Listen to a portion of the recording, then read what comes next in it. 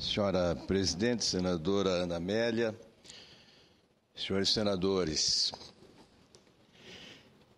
a minha homenagem a um ex-procurador da República que dignificou a instituição, o doutor Antônio Fernando de Souza.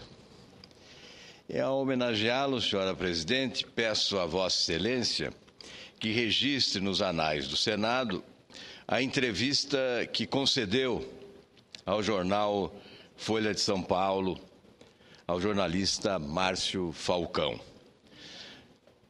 Antônio Fernando de Souza, nessa entrevista, afirma que há elementos, constatou, haver elementos suficientes para condenar os 38 réus citados na denúncia do mensalão.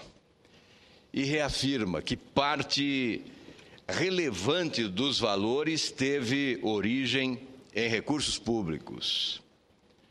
Esses recursos saíram dos cofres públicos, do dinheiro do imposto pago com sacrifício pelo trabalhador do país.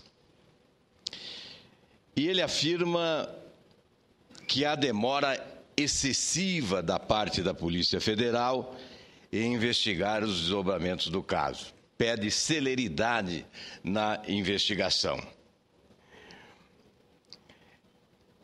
Indagar